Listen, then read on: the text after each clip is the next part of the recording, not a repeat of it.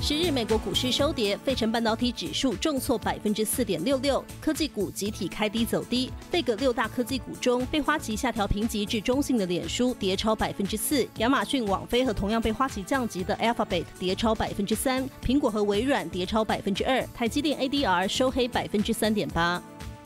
彭博报道，美国商务部长雷蒙多计划与大型企业举行线上峰会，讨论全球半导体短缺问题，包括台积电、英特尔、三星和亚马逊等巨头都受邀与会。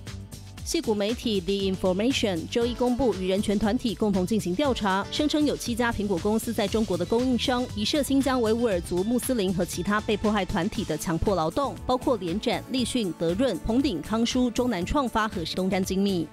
美国输油管道营运商殖民管道遭勒索病毒袭击，造成美东输油管关闭。但殖民管道表示，渴望在本周大致恢复运作。而美国潜在的需求增长支撑了市场，国际油价周一上涨。新唐人亚太电视整理报道。